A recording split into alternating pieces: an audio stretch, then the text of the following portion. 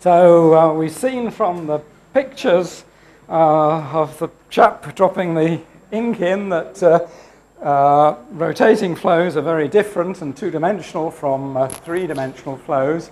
So let's just look at this in a bit more detail now. So if we go back to the basic equation of motion, uh, I'm looking at the two terms which are actually crucial, the biggest terms in the equation of motion. Remember, we're, we're emitting the Lorentz force. We're in the sort of slow and steady regime here, so we're emitting the inertia, that's the low Rossby number approximation. There's no inertia gone in there, and we've got the buoyancy emitted too there. So this is the very simplest kind of balance that you can get, and this is called the geostrophic balance, and a geostrophic, a flow which has, uh, satisfies this is called a geostrophic flow. And it's very important, of course, in uh, weather prediction. Uh, you'll all have seen the famous charts, of course, uh, where you typically have a low pressure area and higher pressure out towards the edges. Uh, and you might expect that the high pressure fluid would all flow in, push itself in like that, but it doesn't do that at all. It actually goes round and round, and it goes round and round in a particular way. And cyclones go anti-clockwise in the northern hemisphere, so the flow goes round and round in circular patterns. Uh, and those circular patterns are because the gradient of the, pressure, of the pressure is, is, is, perpendicular to the velocity. So the gradient of the pressure is out in that direction, and the flow has to be in that direction. And the omega vector, of course, is out of the board. So that's a geostrophic balanced flow. Uh, and these things, so the flows that we were seeing in that experiment uh, were all of this kind. They were basically geostrophic flows uh, in which the velocity uh, was independent of the z direction and balancing the pressure. And so that balance of pressure versus Coriolis is called the geostrophic uh, balance. So let's now go away from that. Let's sort of add in terms one by one to see what sort of effects are produced when you start dropping some of those assumptions of slow, steady flow and no buoyancy and no magnetic field. So the first one I'm going to do is to restore the d by dt term. So that in the vorticity equation, remember that was uh, uh, the, I'll just flip back just to show you. That was the full vorticity equation. So I'm now going to keep that. I'm dropping these nonlinear terms for the time being. Uh, and I'm going to get, rule out all this lot here. So we're just going to keep that one and that one. And let's see what we get out of that. So I'm allowing the uh, vorticity to be time dependent. And if you take the curl of this equation, uh, then you'll get a formula for the curl of the vorticity. Now the curl of the vorticity, of course, is the double curl of the velocity. And curl curl is grad div minus del squared, so you can replace that by del squared. So that produces a del squared u term. And when you take the curl of this, you get a zeta, because that's the vorticity.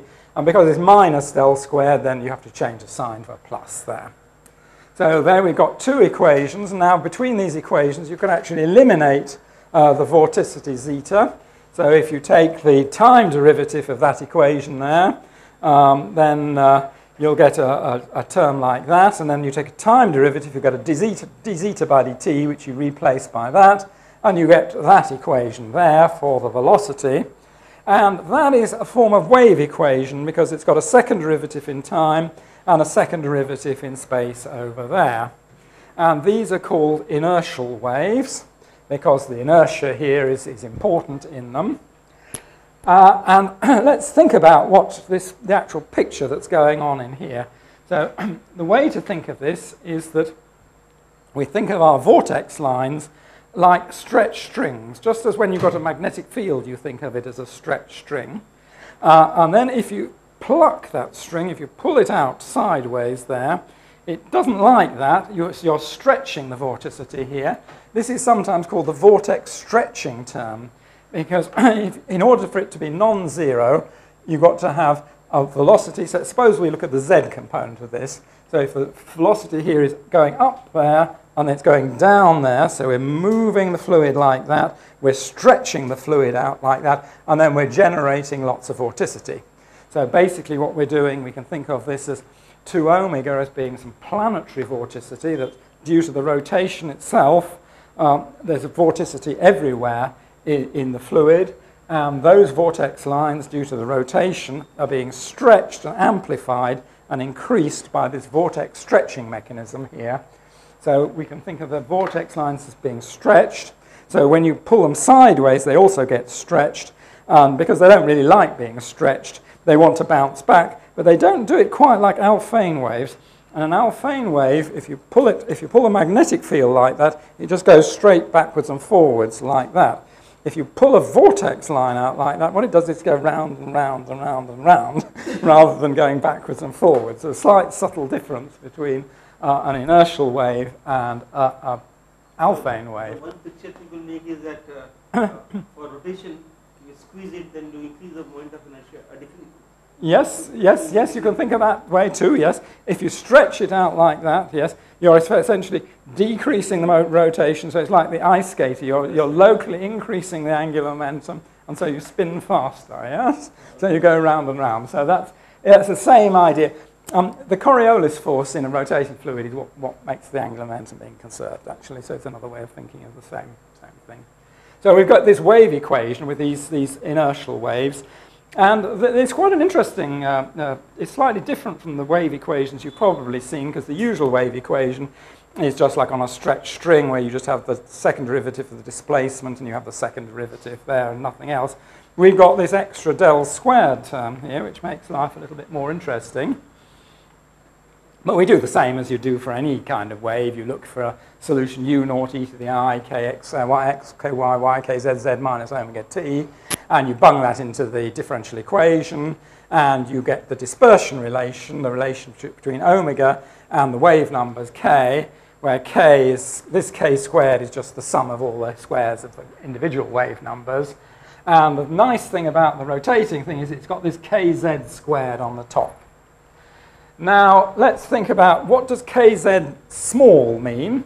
Well, kz small, of course, are motions where the wavelength in the z direction is very, very long. So these are things which are hardly being stretched at all. And in the limit, uh, as kz goes to zero, that's a motion, a Taylor, Proudman-Taylor type motion, i.e. the whole vortex line is just moving around, and that's got zero frequency. So that's why you get slow, steady motions, have the um, have, uh, have kz equals naught. Those are the geostrophic motions. Uh, so if we make kz slightly non-zero, we start waving things around so that instead of being slow and steady, they then have these inertial waves. So if you take a geostrophic system and give it a little prod, uh, what actually happens is you'll get a whole lot of inertial waves excited. Those will eventually damp away or they may radiate away uh, and, and, decay, and then you'll return to the geostrophic state. So um, that's uh, and the frequency in general for an inertial wave is of sort of the same order as 2 omega. So if this is sort of order 1, so if the, if the wave numbers are just sort of randomly distributed, uh, then the waves will have a typical frequency of twice the rotation rate, which is very fast for the Earth, of course. That's 12 hours. So a typical inertial wave in the Earth's core would have a period of only some hours or days if the kz is small. But you do get some slightly longer period waves if you make kz as small as possible. So if you go for these type of motions, which are almost geostrophic, uh, then um, you can get periods which are a bit longer than a day. But you're never going to get periods which are hugely longer than a day, obviously, from that formula unless you make kz actually equal to zero. And of course, if viscosity is restored, then the waves are damped. So, yeah. So the perturbations are perpendicular to the omega? Yeah, that's right. Yes, yes, yes. So I'm, I'm thinking of, uh, yes, I'm thinking of pushing, of making a perturbation to the fluid which is tangent, uh, um, uh, right angles to the, um, to the rotation vector, yeah. And then, it, then it'll go into this, this, this, this inertial mode oscillation. Yeah, yeah, but the way to think of it is always in terms of vortex lines and vortex stretching. That's, that's, that's much the best physical picture to have in your mind. Now let's uh, forget about the d by dt term and let's see what happens if we put back in the buoyancy term, which is an interesting thing to do because uh, we haven't thought about that. Now that's the Boussinesq buoyancy equation. So the uh, G, G, is the gravity. We uh, model the temperature variation by 1 minus alpha t, where that's the coefficient of expansion of the fluid. Uh, so that gives us some buoyancy there. So we do the same thing again. We take the curl of the equation and see what we get. Uh, so now we get an equation which tells us uh, that minus 2 rho naught omega du by dz is equal to the curl of uh, g alpha t in this, with, with this, this, this in the, that direction. Sorry, I lost it. Uh, and this is an interesting equation. The, the interesting, most interesting component to look at is when x is in the eastward direction. Uh, so that corresponds to a flow which is east-west, like those flows on Jupiter we were looking at before. And this tells us uh, that the rate of change of the east-west flow with height uh, is equal to the rate of change of the temperature uh, in the latitudinal direction because we're going to think of, if you think on the Earth's surface, we usually take x to be in the eastward, y to be northward, and z to be upward. So this is telling us that if there's a latitudinal temperature gradient, then we're going to get a, a, a wind uh, which is a function of z. And this is called a thermal wind. Uh, and it's responsible, it's mainly responsible for the jet stream uh, in the Earth's atmosphere. If you probably know that if you fly from uh, America to Europe, you get there much, much quicker than if you fly from Europe to America, and that's because the pilots spot where the jet stream is, they get their aeroplane up in the jet stream, and boom, off they go, saving lots of money. so um, that's, the, that's the way it goes. And the way it works, you see, is that um, it's ux is pretty well zero in the boundary layer at the bottom, close to the surface. And then as you go up, uh, it gets steeper and it gets bigger and bigger and bigger as you go up. And course, then you run out of air, of course, and you run out of, of stuff. But uh, if you go as high as the aeroplanes can go, then they catch the jet stream as fast as possible. Now, if in this picture here, it should be exactly a sort of east-west uh, line, but of course the actual temperature, masses of cold air, some come down there and masses of warm air come up there. So the place where the temperature gradient actually occurs moves around. Um, the UK weather forecast has just discovered about the thermal wind equation. and, they, and they've just discovered about the jet stream, and now all we get is predictions about what the jet stream is. You listen to the weather forecast, they've stopped telling you whether it's going to rain or not. what they tell you about is where the jet stream is. They're very excited by this. They say, oh, look, the jet stream's going up there. That means it's going to have stormy weather in a week's time.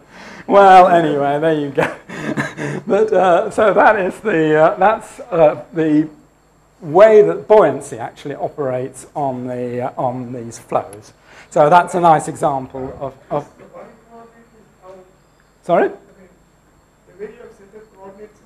The z is upwards, up upwards, yes. Y is in the is in towards the North Pole.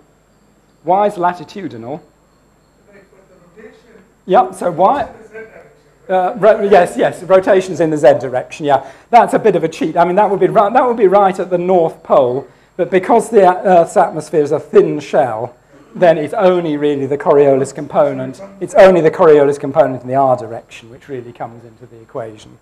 I, I mean, that's that's an additional complication because that's it's actually a stratified um, uh, layer in, because because of the because it's thin uh, in that direction, and that's why the other components of rotation don't come in. I mean, you're quite right. I mean, if you, if you, look, if you did that properly, you'd find an extra uh, component there which gets balanced by the um, uh, by pressure force, the, the, vertical pressure force, basically.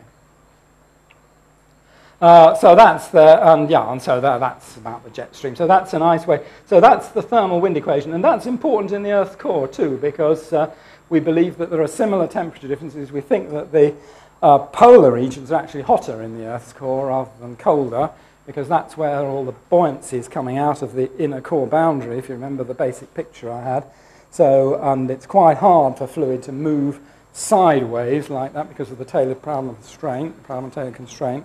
So, um, uh, yeah, so it tends to be, the poles tend to be hotter, so there's a, temp, uh, a temperature difference which goes the other way from that on the Earth, and that tends to produce an anticyclonic vortex uh, in the polar regions, polar caps of the Earth's core. And there's some evidence of that. There's some evidence that the magnetic field is being swept around. There's some papers being written on that.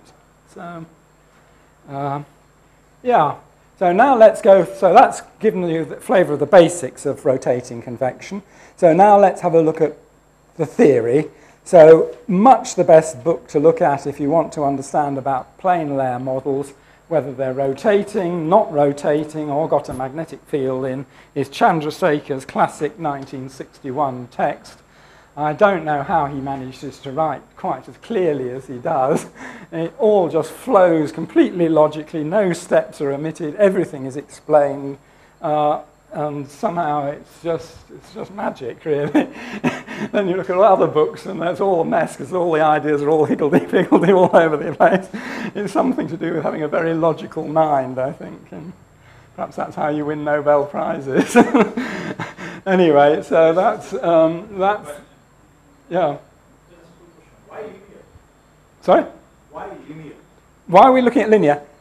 because we want to start with linear theory. I mean, the first place to start with is, is all these problems is to look at the linear theory because it's simple, you can actually solve it, uh, you can understand it, and it then gives you a framework in which to look at nonlinear effects. I mean, if you just dive into nonlinear stuff, it looks like a mess, and then you never quite sort out what on earth is going on.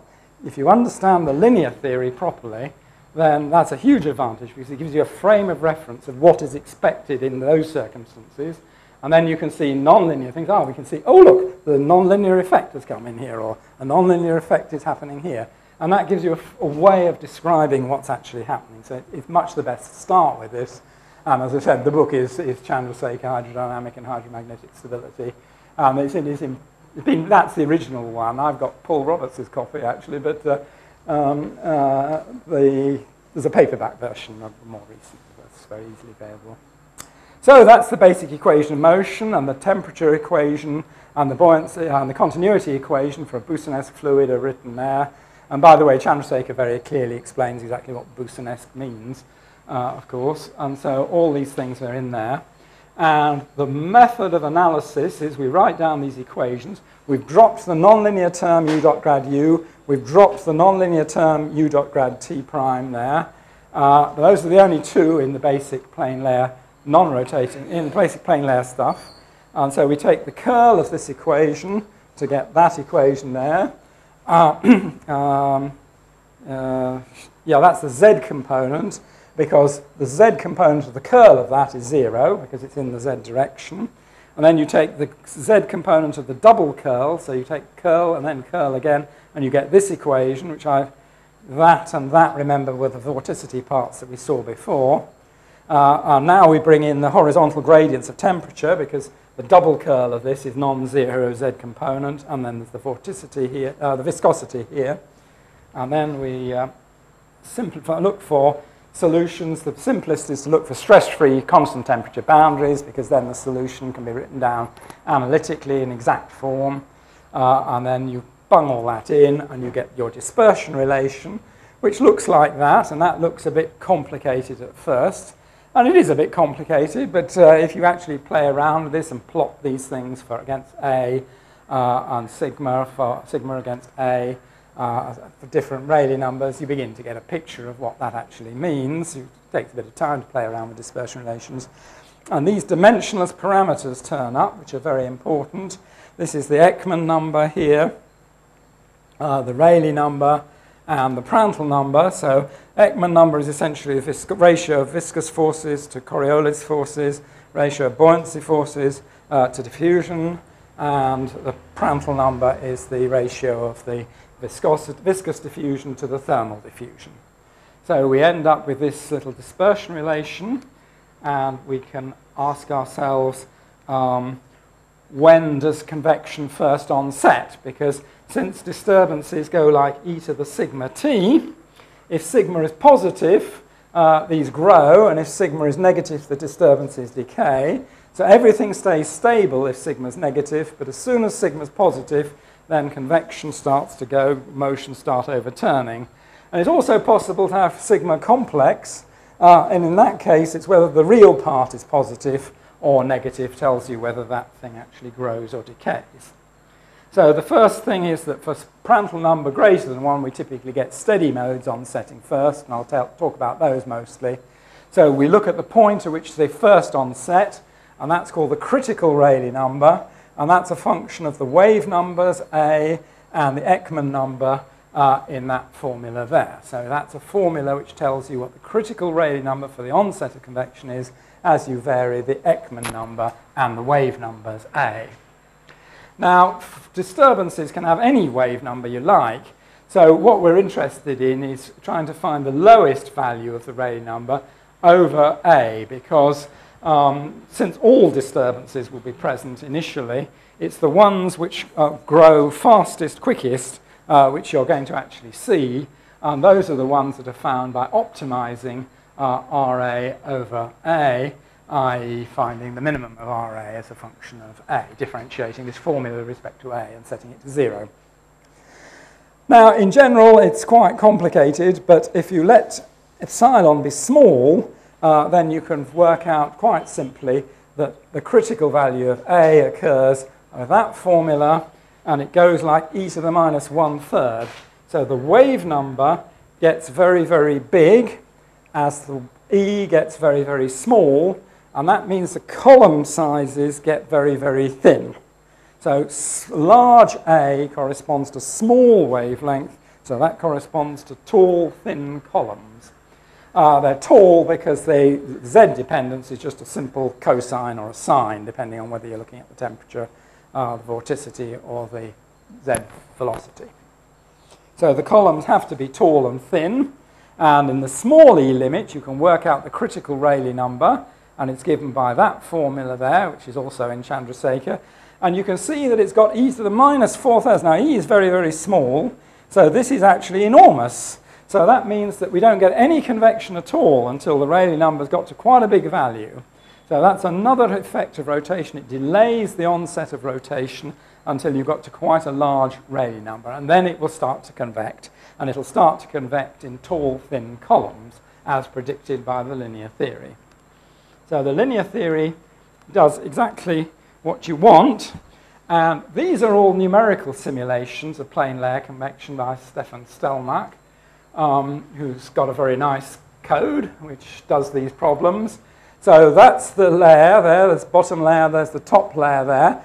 Um, in the numerical codes, we always assume that it's got some kind of periodic. We don't have an infinite box. We have to assume it's somewhat periodic in that direction and in that direction. But that doesn't matter too much, provided that the length here is very long compared to the length of these individual columns, because there are lots of individual columns inside them. And there you can see, I mean, in this calculation, you're close to critical, uh, and the Ekman number is very, very small. What do you expect from linear theory? Tall, thin columns. What do you see in your calculations? Tall, thin columns, which is all very satisfactory. Um, there are some are blue and some are red, and they're coloured whether they're sort of whether the fluid's sort of circulating upwards or circulating downwards. So it sort of goes up and then down. And then it's sort of interesting to think, well, what about nonlinear effects? Suppose we put the nonlinear terms back in again. What are those actually doing? And now you can see that. I said uh, gives, this gives you a framework. So that's where you start from, linear theory. Then as you go more supercritical, as you increase the Rayleigh number, still get the columns, but more sort of mess starts to develop typically in the boundary layers, the top and bottom boundary layers. Then, uh, as you go up in Rayleigh number, well, there's still some columnar structures present there, but it's becoming a lot messier. I mean, they're not going all the way up to the top, they're not going all the way up to the bottom. And then eventually, if you make the Rayleigh number sufficiently large, it's just a complete mess. There's lots and lots of small-scale convection, and it's actually pretty much the same as if there was no rotation at all. And the reason for that is as you increase Rayleigh number, you're increasing U. So if you're keeping omega the same and just increasing U, your Rossby number is going up.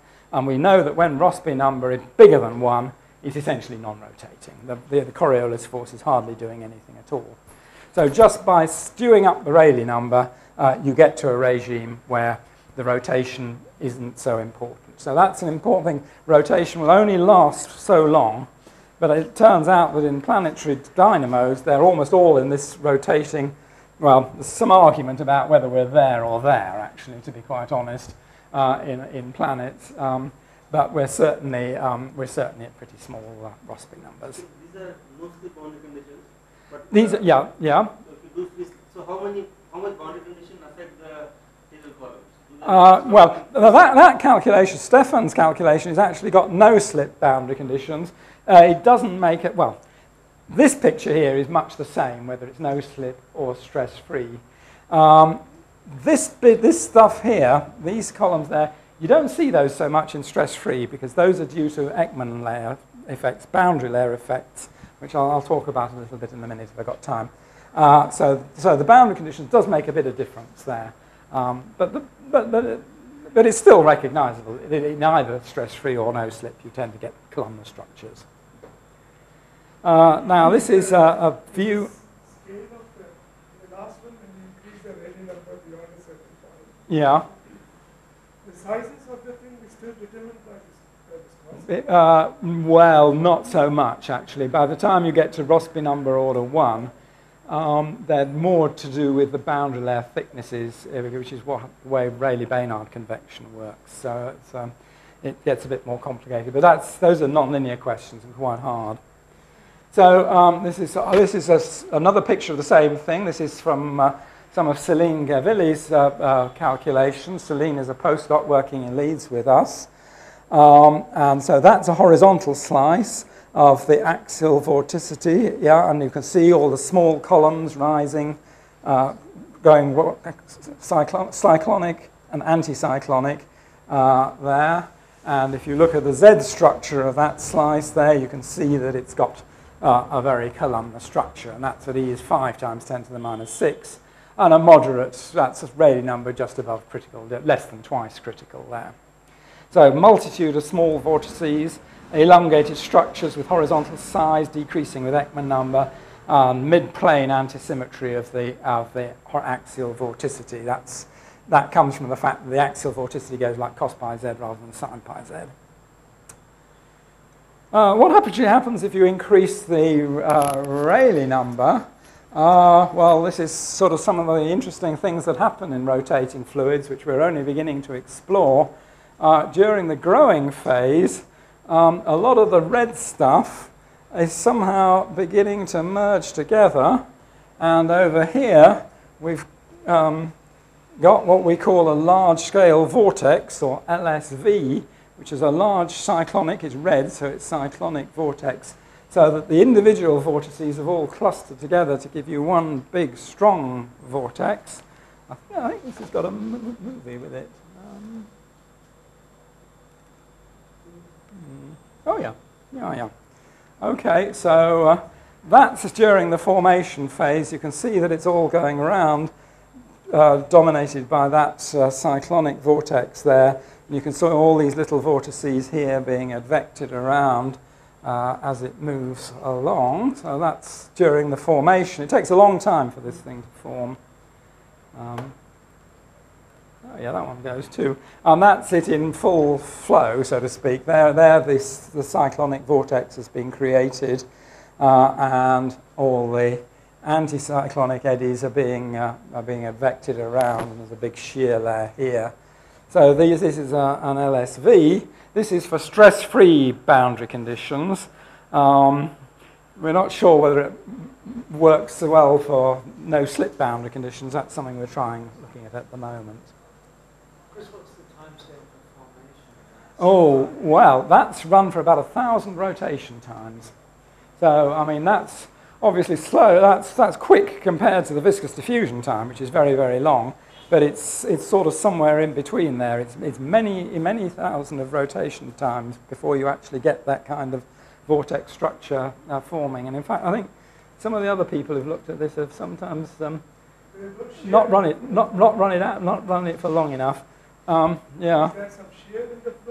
Uh, no imposed shear from the flow, no. No, it's absolutely classic stress-free boundaries, Rayleigh-Bénard, yeah, with rotation. That's all there is in that. How this big vortex forms? Ah, well, you have to read the paper. It's uh, Guervilly, Jones and Hughes, uh, December uh, 2014. Yes, JFM. How do you decide number of vertices which should be formed? Like in this one, there's only one. yeah, oh, yeah. It always it always grows to fill the box. So, well, however, all these things you have to make the box periodic. Yeah. And however big you make that box, yeah, it will always eventually grow big enough so that one huge vortex. They always merge. Yep. You never end up with two. You ne- 2D inverse cascade or? Uh, well, yes, but it's not quite as simple as that. If you read the paper, it, there's a bit more to it than that. I'm not saying any more of that, but that's the structure, that's the vertical structure there. It's, it's really quite interesting, but it, it's a bit, I can't get through it in the time. I mean, it's a whole seminar in itself. Okay, so now let's think now about heat transport. So this is measured by something called the Nusselt number, which I think we mentioned before. So the Nusselt number, I'll write that down over here just in case we've forgotten. So the Nusselt number is the convected flux, so it's F convected divided by the, um, uh, sorry, it's uh, F total flux here. So it's F convected plus F conducted, with some flux conducted along the uh, temperature gradient, divided by the F conducted. So this, if, even if there's no fluid mo- motion at all, of course, uh, there's some uh, heat conduction because the top bottom is hot and the top is cold, and it's a conducting material, so there will be certain heat flux, and that goes on the bottom there, and then the top is here is the conducted plus the uh, convected. So this has always got to be greater than 1. It's exactly equal to 1 uh, when you're close to critical, and then uh, as, as you build up in Rayleigh number, so it goes up.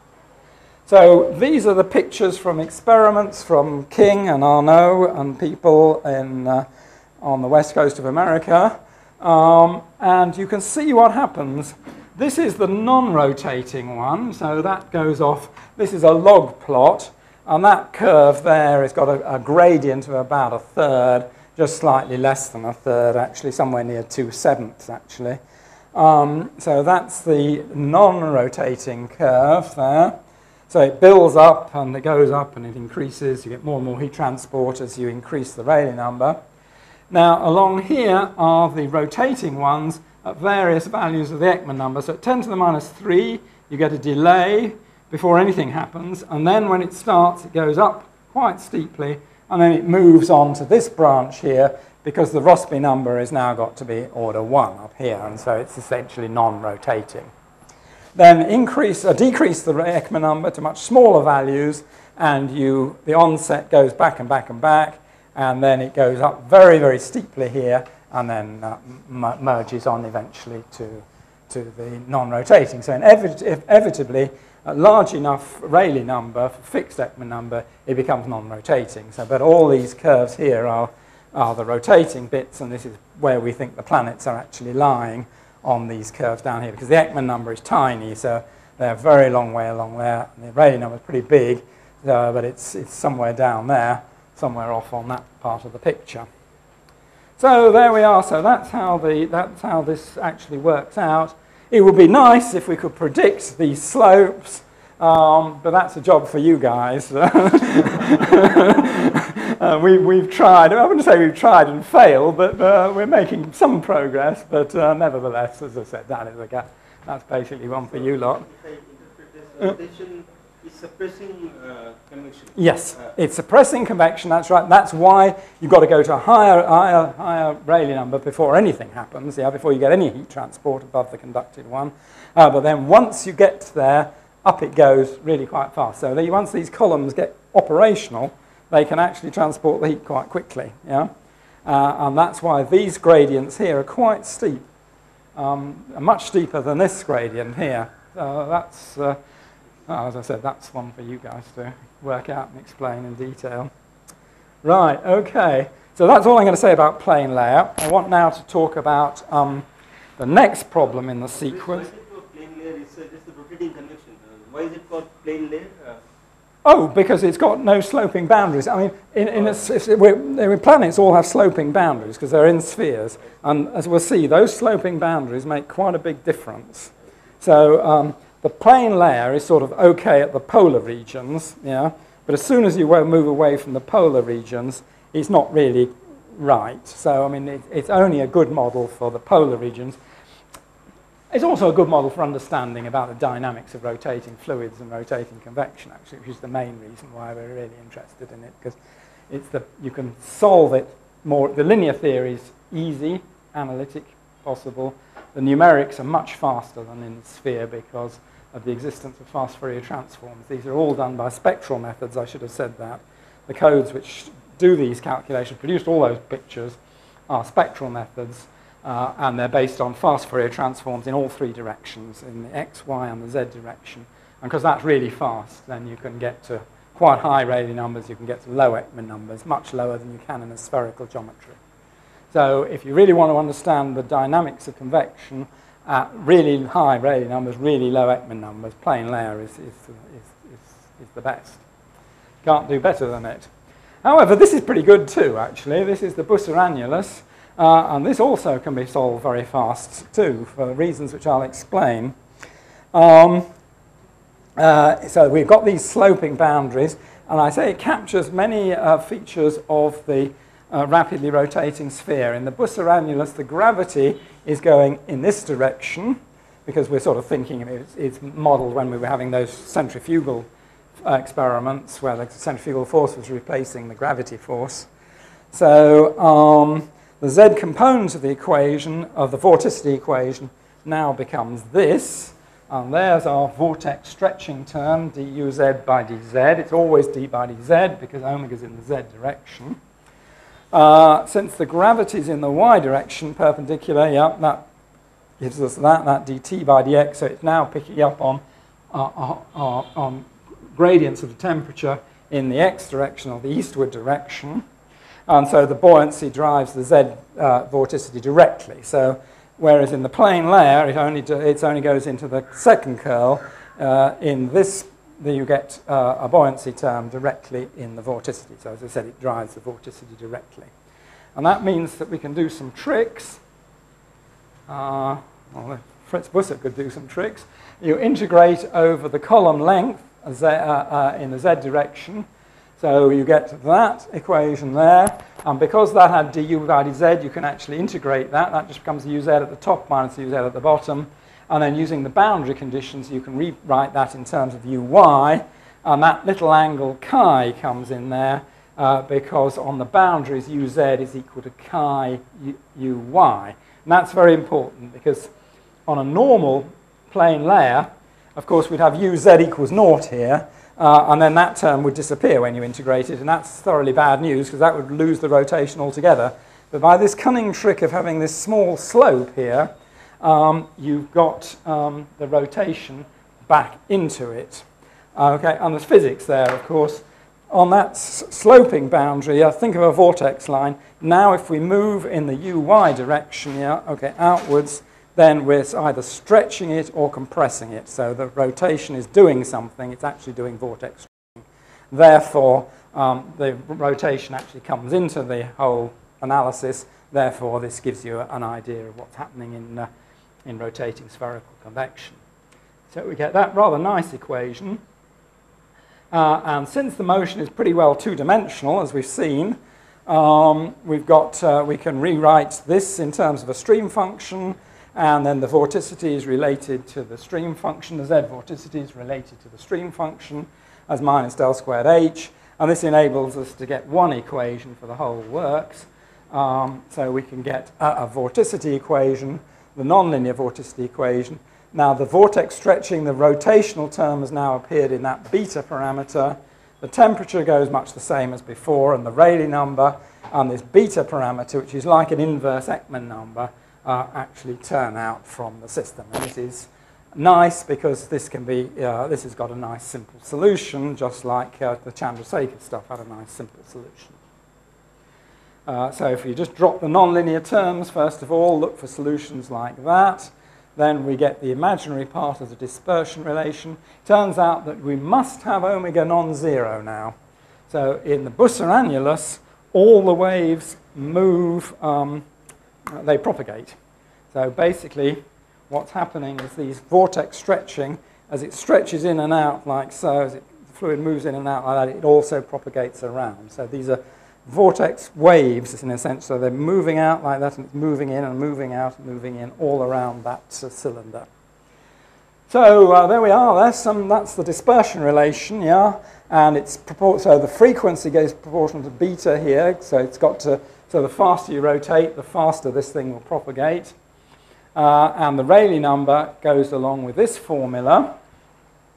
Uh, and as I said, the restoring force comes from the sloping boundaries and omega over k has to be positive. So these Rossby waves, as they're called, travel eastward. Uh, in shallow layers, there's another kind of Rossby wave, uh, which is slightly different because the vortex stretching works slightly differently in the Earth's atmosphere because of a thin layer. And the difference means that those ones travel westward, whereas in the Busse annulus, uh, the Rossby waves travel eastward. And you can solve this to work out the critical value of k, which I think I've done there. Yeah. So it's rather similar. So the k is very large if beta is large. Remember, small Ekman number is large beta. So beta large means large k. So that means tall, thin columns again. So just as before, we're getting tall, thin columns uh, in our, our, our annulus model. But this time we have this frequency here, which actually scales like beta to the two-thirds once you take the k effect into account. And the Rayleigh number, again, uh, goes up like beta to the four-thirds. So if the rotation is rapid, that's big. So you only onset when it's really rotating really fast. Okay, so that's exactly similar to the plane layer, so that's good. Um, and uh, this one also forms interesting structures when you go nonlinear. Uh, this is a, um, a movie which I made some time ago. I'll just explain about coordinates. So this is the x direction there. This is the y direction there. So k it was in the x direction. So those are the tall, thin columns. You can see they're fairly thin and they're quite elongated in that uh, direction. Uh, and so these things are carrying heat out um, from uh, this side up to that side, basically uh, and they're rotating around, so these things are transporting heat, uh, and they're driven by the convection uh, in the annulus. And um, well, let's have a look and see what happens. Um, so you can see that you get some pluses, uh, which are the sort of ready th- uh, with the yellowy things, and the minuses are the bluey things. And you can probably see that these, uh, this two-dimensional flow is doing another of these inverse cascade things, which two-dimensional flows like to do. It's getting into it's some kind of a large-scale order is coming out of the initial small-scale chaos. You can begin to see sort of structures, banded structures, beginning to appear, uh, just like we saw on Jupiter. And I think this movie goes, it takes quite a long time that's quite a good thing in a way because it tells you that these, uh, these organized structures take a long time to emerge, um, but you can see that they do. And eventually, this thing will go to something which is actually just got straight blue bands and uh, yellow bands and blue bands and yellow bands. And the number of bands, of course, is another interesting question heating is in the radial direction? Uh, well, uh, the heating is in the radial direction, but it's, well, the most important aspect of the heating is that it's across the, ro the rotation axis. So if we, we're now thinking, say, near the equator of Jupiter, yeah? So we've got our vortices are going around like that, and the heat's coming out like that. So on each vortex, this might be a little hotter, and that might be a little colder, and that's going to twist the vortex around. That's how the buoyancy actually generates and keeps the vorticity actually going. And then that takes the heat out, towards the equator. And of course, also there is also an, a, mo a, motion which is not represented in the annulus, which is the, the vertical motion. So they will also be spiraling up and depositing heat near the poles as well. So, I mean, this is a simplified version, but you can see the nice thing about it is it actually has this property of getting uh, coherent structures out of um, things which didn't look very promising at the beginning. So that's the Busse annulus. What's the difference between quasi-geostrophic? Uh, quasi-geostrophic model is quite popular at the moment because 2D simulations are much less expensive than 3D simulations. Uh, and uh, in QGA, instead of making this assumption that the angle chi is not is small, we, we, we get away from that. We just say whatever it is for a sphere. So we make it a varying function. Now, the disadvantage of that is this is no longer asymptotically correct. The nice thing about Busse is that in the limit chi goes to zero, all the equations are asymptotically correct. So this is only just an approximation, this QGA, QGA model. It's not exact. Um, but nevertheless, it seems to do a pretty good job, actually, when you look at the simulations. Uh, seem to be pretty similar to the simulations from the sphere, at least so long as you keep away from the tangent cylinder or, or and you don't get too near the equator either. It's best at mid-latitudes. Uh, this is one of Emmanuel Dormy's pictures. I hope he recognizes it, yes. Uh, uh, so this is the onset of convection in a sphere. Uh, and these are the columnar structures that we've been talking about here. And this is a sequence at different uh, Ekman numbers, getting smaller and smaller and smaller as we go there. And you can see the columns are getting thinner and thinner and thinner. But a new thing has turned up here, which we didn't see before, and that is the columns. They're no longer um, just sort of ordinary columns, sort of circular columns. They've got this slightly curious spiraling structure uh, moving out like that. And the real origin of this is because in the Busse annulus, we had a frequency. If you remember, there was a definite frequency moving, that omega, which we, we predicted and had a neat little formula in terms of beta and k. And that was appropriate for the whole, um, for a thing of that particular slope. But of course, in a sphere, uh, it's sloping much less up there and sloping much more up there. So that means that that local phase speed, that local frequency, is different at different uh, values of s, distances from the x. In particular, it gets larger as the slope gets bigger. So these Johnnies here want to go faster, and these ones here, they want to go slower. But of course, the whole thing's got to keep its act together. It's actually got to go around at the same speed. So what it does is it chooses a speed somewhere in between and moves uh, and then these ones start trying to move faster and these move slower, and the net effect is that the thing is actually uh, producing this spiral structure out in this, this way. Okay, so that's what happens in uh, rotating spheres. That's the uh, uh, cut in the, uh, we're looking at the equatorial section there. Um, there's an asymptotic theory that goes with this, and that's the bottom. And the top is the numerical calculations, and the purpose of that picture is to show that this is the same as that, and that tells you that our asymptotic theory is jolly good. Um, so that's how uh, that actually works out. And you can see this one, there's an inner sphere here, and these things are moving out, but they've still got this, um, uh, this spiraling structure uh, as, as you've got there. Sometimes you can get them, uh, these things sort of sitting in midair, so to speak, in the middle of the layer. If the inner core is quite a small thing. It will come out, as, as Busse showed in the original thing, that it first come onset sometime in the, in the interior. Okay, so, um, right, yeah. So the last point of this, no simulations can actually reach the very small Ekman numbers found in planetary cores. Now that's an important thing to remember. Um, Ekman number in the core, Earth's core, 10 to the minus 15, much the same in Jupiter. Saturn is even lower, if anything. Uh, and um, gosh, so really, really small Ekman numbers.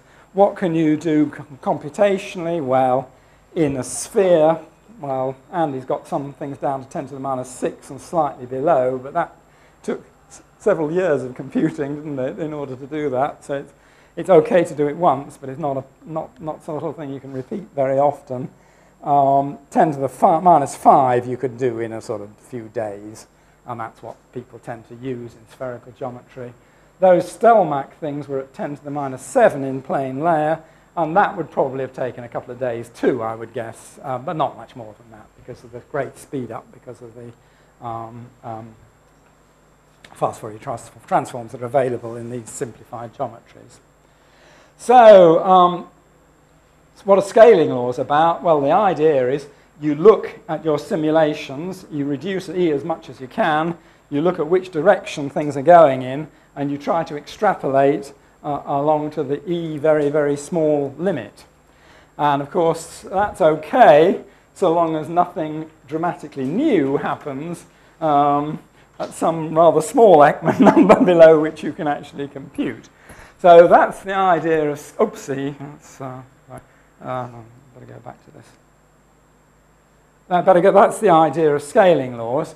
Uh, but it's also possible to look at the terms in the equations of motion to actually get a balance and sort of do some sort of estimation work, which will also give you uh, are physical arguments based on the various force balances of inertia, Coriolis, buoyancy, Lorentz, and viscous forces that are actually occurring in these simulations.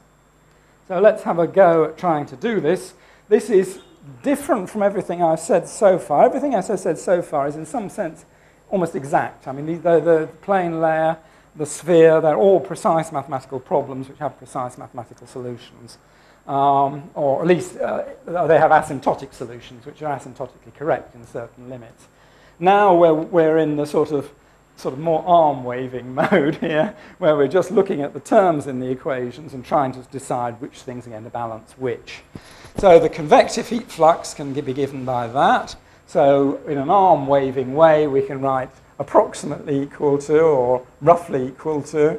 Um, these are supposed to be typical velocities and typical temperatures. So in a simulation, you typically take the root mean square velocity and the root mean square temperature fluctuation in order to work out what those are in a simulation. So we expect the convective flux to go like that. Then uh, in strongly nonlinear convection, the balance is basically between inertia and buoyancy if it's not rotating. So if there's no rotation, we expect a, a buoyancy, a balance of inertia to, uh, to, to buoyancy. So we can almost think of these as blobs of fluid just accelerating up uh, due to the buoyancy and then going a certain distance and sort of smashing uh, and releasing all their heat to the surroundings. And the distance they go is this mixing length d. And in compressible convection, d is usually taken as the density scale height, but in Boussinesq convection, it's usually taken as the distance between the boundaries. So it's an approximate value. Uh, and then you get from balancing up these terms here, you get that balancing that. So you can then multiply the U star up there, and you get the famous uh, mixing length theory, which is actually seems to go back in the fluids literature to Deardorff, who did some experiments uh, and came up with this as the typical velocity in terms of the heat flux uh, that's going in through. So that's the gravity, that's the coefficient of expansion, that's the heat flux that's going in through our layer. So uh, Let's just draw a little picture down here. So there's a heat flux F going in there, in a steady state, the same heat flux is going to come out of the top too. So that's the, that's the heat flux that we're, we're talking about here. So that's basically the, from this one here, that's, this F is this. So basically the Nusselt number is then uh, F divided by the conductive flux, which is just the uh, temperature difference divided by the distance times the uh, diffusivity, conductivity.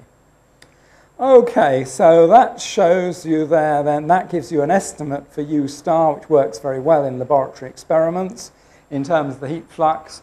And of course, we can estimate what all these things are in planetary cores. I mean, I talked about 10 terawatts going through the core mantle boundary.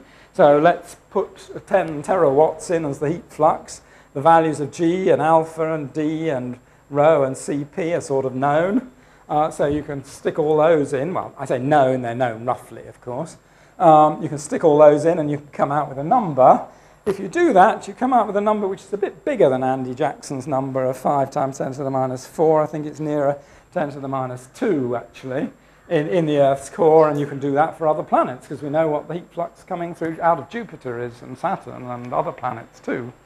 Uh, so if we put something like that, uh, it ends up giving you a U star about, well, I said it's about 10 times too big, yeah.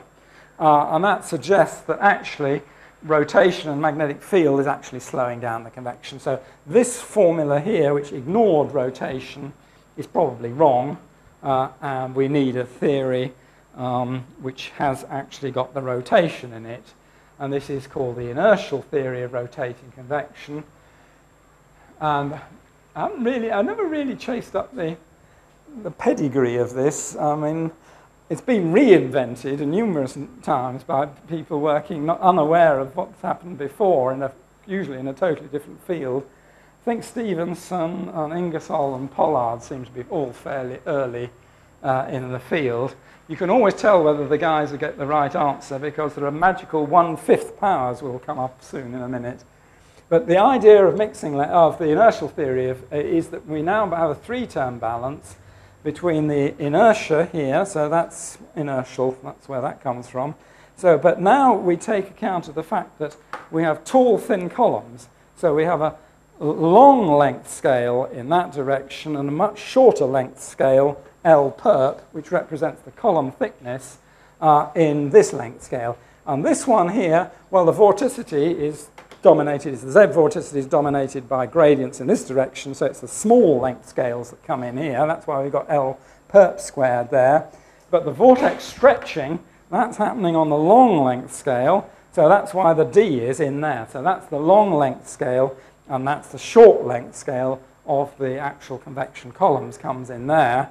And the buoyancy, well, that's driven by, it's hot on that side, cold on that side, this thing's going around, so it's the short length scale that comes in there. So that's the short length scale in there. And then when you go, oopsie, you know, that's, uh, oops. Uh, it was, yeah, that was that one, yes. So that, that's, the, um, that's it. And we're ignoring the Lorentz force. So the inertial theory of rotating convection is just what it says. It doesn't have magnetic field in it. So uh, we've got L purpose uh, going like that, yeah. And if you work that out in the Earth's core, it's rather small, unfortunately. It's four kilometers, which is actually telling you really that the magnetic field is important because on four kilometers, uh, magnetic field is, is below the dissipation length in, in, of magnetic field. So um, it is basically telling you that you can't really do this in, in the Earth's core, although people are actually doing it. They are actually ignoring the rotation in order to get their scaling, the magnetic field to get their scaling laws, but it's certainly somewhat wrong. But it might not be fantastically wrong because, I mean, the dissipation length on the magnetic field, of the size of the magnetic structure, smallest magnetic structures we expect, are not that much bigger than that. They're just a bit bigger than that. So this L perp has got a special name. It's called the Rhines length, uh, and it's that. So it's uh, got an easy uh, representation in terms of U star, D, and omega. Uh, it's all, yeah, yeah, and it's the balance of inertia and Coriolis. So, uh, so on, on, it's balancing inertia and Coriolis in that way where we've got these particular kinds of uh, lengths. So that's the small length scale and that's the large length scale. Okay, so that's that. And then we can eliminate to get a formula for the heat flux. So we can get estimates for, for the heat flux, for the uh, actual velocity in terms of the heat flux. So that gives me the Rossby number, which is very small, of course, because this is typically much smaller than that. Uh, and that gives me something which goes with these two-fifths power law, which, as I said, is, is the hallmark of the inertial theory of convection. It's whenever you see these fives that you know what people are talking about. Uh, and for compositional convection, you can replace this by an equivalent of buoyancy flux. And this fits quite well with numerical simulation, so that you get the two-fifths law here. Well, it came out the experiment was 0.41, which is very close to the inertial scaling. Uh, and so this predicted velocity can be compared to the westward drift in the Earth's core, and it doesn't do too badly. I mean, it, this is actually significantly smaller than the mixing length value, the non-rotating value. Uh, and that's what we want, because as Andy said, it looks like it's more like 5 times 10 to the minus 4. Uh, and that's not far off what you get out of these kind of estimates. So they're not completely crazy, even though they do ignore the magnetic field here. But it, I mean, it's probable that the magnetic field is doing important things. Oh, that seems to be where we stop on that one, so I'm going to the last one now, which is sort of more about numerical results and models. So let's just go after a bit, a little bit quicker here. We've got half an hour left, haven't we? Right. Okay, so almost everything I've talked about so far has had no magnetic fields in, which might seem odd for a dynamo-based meeting, but understanding the non-magnetic case first, I think is a very good idea actually for everybody. I would strongly recommend always think about what happens with no magnetic field as well as what happens with magnetic field, and then you can compare. Again, it's all about getting a reference state. So you, you have an idea in your mind of what you're expecting, and then you have a reference in your mind as to what the differences are going to be when you add in the extra, extra effects. And this gives you, you can then build up a whole coherent picture instead of just being in a chaotic muddle.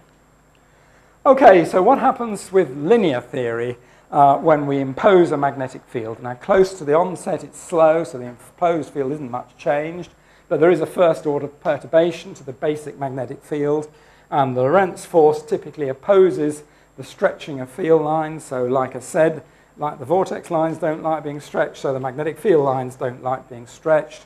And we can do the Chandrasekhar plane layer problem, which has got the magnetic field going uh, vertical.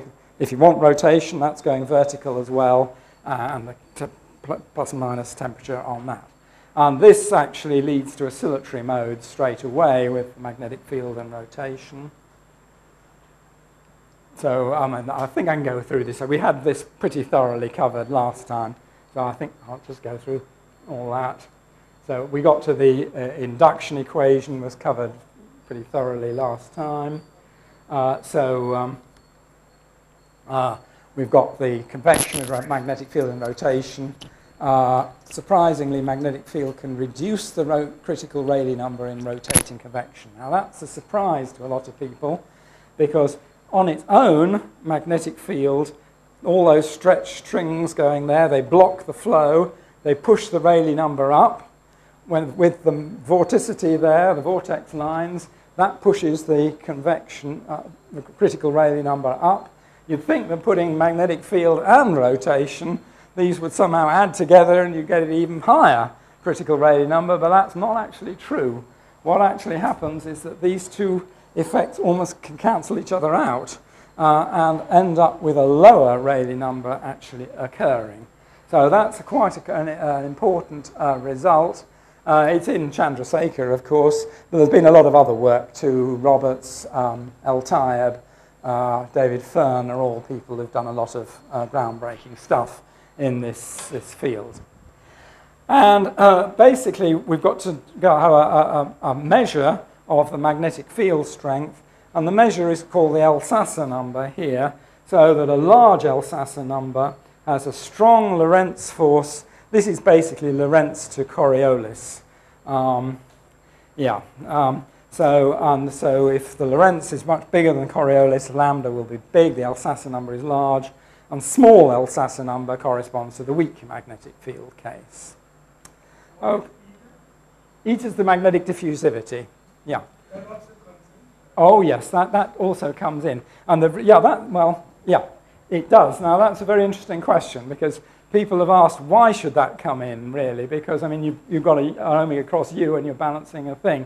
And, I mean, that comes in if you make the additional assumption that your um, RM is order 1. So if you make the RM order 1 assumption, yeah, then you get that balance. And that's what's been done in order to get that thing. Recently, that people have been looking at this, they have now what they call a dynamic Elsasser number, which is much closer to the direct comparison of omega cross u against um, the Lorentz force. And um, that dynamic Elsasser number turns out, when you're nonlinear, to be a better measure. For linear theory, this is perfectly okay because you've got a basically, you do have a balance between the diffusion and the dynamo, the induction when you're, when you're close to Large RM, this isn't so useful, exactly. A large RM a dynamical uh, Elsasser. And I think I've got a transparency somewhere. I, yeah. Yeah, in fact, yeah, we're, we're, just coming off up onto this, in fact. That was the next, my next thought. Um, as I said, this works okay, but one of the things that's been noticed in the simulations is that the large length scales that you ex expect when you, I should have said about the large length scale, sorry. Um, uh, the magnetic field breaks the Taylor-Proudman constraint and instead of getting those tall, thin columns, uh, you get thicker columns become possible. So that instead of having that k going like e to the one third, e to the minus what, e to the minus one third, which gives you those very uh, thin columns, you can actually get wave numbers which are order one if the Lorentz force and the Coriolis force are just in balance. And that means that the, that's the reason why the critical Rayleigh number can be smaller, because we're no longer depending on viscosity. We're balancing, we're getting really, really rid of the Taylor-Proudman constraint by balancing the magnetic field against the Coriolis force rather than the viscosity against the Coriolis. same direction as omega? Uh, you can be, yes. I mean, there have been lots of calculations, actually.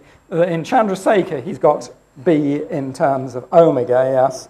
Eltayeb d- did B perpendicular to omega. With Paul Roberts, I did basically all, all possible directions in about, I the papers in about 2000. So lots of people have done lots of things. But the basic story is actually pretty similar.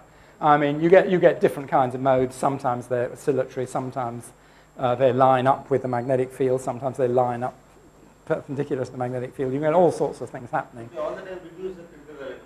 Yeah, all, all the time you have a critical number. Okay, so that's it. So uh, it's been noticed, though, that you don't tend to get these thicker columns uh, coming up in numerical simulations, and people have been wondering about this just recently.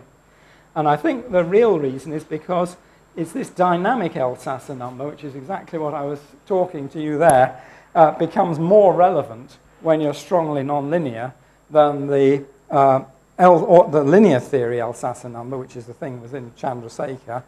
Um, uh, so this thing becomes more important, and that's slightly different because it's different by a factor of Rm, which is sort of a few hundreds or maybe even almost a thousand inside the Earth's core. So uh, this generally predicts that magnetic field doesn't actually make a difference until considerably stronger magnetic fields than the ordinary Elsasser number. So basically, the microscopic diffusivity is replaced by turbulent. Yeah, yeah, yeah, yes, yeah, yeah, yeah, yeah, yeah. This one doesn't seem to. Oh, that's funny. This, these pictures don't seem to have come up at all. I don't know why that is, but uh, the thing that, that, what this shows you is what's called flux expulsion. So if we stir that um, uh, vertical field line there, field lines there, and put a, a circulation on there, then the field lines get stirred up there and stirred up more, and by this time all the field is in this thin boundary layer and there's essentially no fluid, uh, no magnetic field in there. And so what we think is happening in these simulations is basically those columns are wiping out the magnetic field. In linear theory, the magnetic field goes right through the middle of those columns, but in nonlinear calculations, then those, those vorticity there is actually expelling the magnetic field out to the boundary. So then it has much less effect actually on the, on the basic balance of the convection. So then the convection goes back to a balance of Coriolis versus uh, uh, viscosity, which is why the viscosity still seems to be important in these simulations, even though the Ekman number is small and even though there's a magnetic field in there. But that again is controversial work in progress. So uh, uh, there's a lot of interesting things to do there. Okay, so magnetic fields, just to summarize, magnetic fields can reduce critical Rayleigh number, uh, and they can reduce the critical value of the horizontal wave number. So in spherical, e to the im phi, it's, it's, increase, it's reducing m. Uh, and uh, if the columns are too thin, they won't actually give you a dynamo, so it is important that some uh, mechanism for increasing m is actually there. Uh, yeah, um, now we're going back to looking at the linear theory results here. There's a special field um, called the Malkus field, um, where B is given by B naught S phi hat in cylindrical coordinates. Um, the thing that's nice about this magnetic Malkus field is that it's possible to write down analytic expressions uh, for most of the problems that you want to solve, provided that you have, uh, have this special field. Now, of course, it's a particular field, uh, and it's nothing like the field you like to see in planets. But nevertheless, you can see some of these effects here. I've got a few pictures here. So for small Elsasser number here, that's weak magnetic field. You can see the picture is much the same as it was in Emmanuel Dormy's pictures, uh, where we had these thin columns spiraling outwards uh, with a very low E. But if you increase uh, uh, lambda, so you increase the magnetic field, there you can see the reduction in the horizontal wave, uh, wavelength, wave number, so to give you the bigger, bigger wavelength uh, uh, patterns there. Okay, and even a fairly modest uh, magnetic field will actually expand the columns quite a bit. But of course, for that to work, that magnetic field has actually got to get into the columns. And the trouble is the flux expulsion at high RM tends to stop it ever getting into the columns in the first place. Okay, and now that's a picture. I don't think I need to go too much into that. That's the critical Rayleigh number. And you can see, first of all, it increases with magnetic field and then it suddenly drops. This is where the magnetic field is actually beginning to balance uh, the Coriolis force. This is sometimes called the magnetostrophic. Geostrophic is uh, Coriolis balancing pressure. Magnetostrophic is Coriolis balancing Lorentz and, and a bit of pressure there too. So, so that's, the, uh, that's the new balance there, producing the lower critical Rayleigh numbers. Right. Uh, thought I had to say something about J.B. Taylor's constraint because that's important in dynamos. um, the Coriolis term is zero if you have geostrophic flow. Well, when I say Coriolis term is zero, what I really mean here is we're going to consider uh, this integral here. So let's look, uh, concentrate on this. We're looking at cylinders here. Andy Jackson showed some pictures of cylinders there, and they're rather important in this whole subject. So let's consider a cylinder here, yeah, fitting round the inner core there. And we're going to think about integrating the equation of motion, or the phi component of the equation of motion, over that cylinder. So that integral there is all over that, uh, that um, cylinder there. And if you look at all these terms, um, some sort of rather special things happen to them. In particular, uh, if you look at that, there's no net flux of fluid out of the cylinder or into that cylinder because of mass conservation. So that, that term actually goes to zero. Uh, if it's steady, that term will go to zero. Viscosity, Ekman numbers are always extremely small in the Earth's core, as we've said many, many times. So Taylor's constraint is basically that that quantity there has got to be zero, so that if you integrate over a cylinder, uh, J cross B the phi component of j cross b ought to turn out to be naught. And of course, a fun thing to do is to do when you do a dynamo simulation is to actually work out what j cross b is and integrate it over it and see if it actually is zero. And of course, it never is because no, no numerical simulation is, is very exact. But it is noticeable that in quite a lot of the simulations,